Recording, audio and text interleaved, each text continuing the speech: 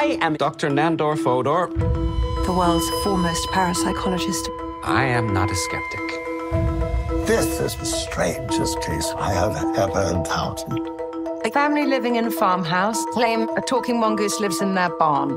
Creature's name is Gef. What do you think about them? A talking mongoose. The Irving family are peculiar. Did you observe this creature? No, No. I did hear it. We are going to the Isle of Man. I have almost 20 years of research in this field. You're here to see Gef. Is the creature here? Well, because we can't see him, doesn't mean he ain't here. I see. The daughter is a ventriloquist.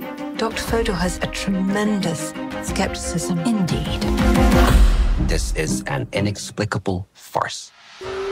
I'd say the wee rascal's probably watching us right now. Everybody on this island has their Gef story. Tell me yours. You and I both know there ain't no Jack.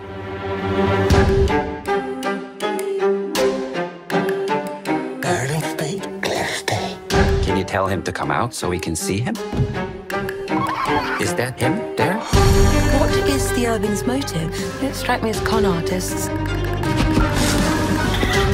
We hear with our eyes as much as we do our ears. These people are lying.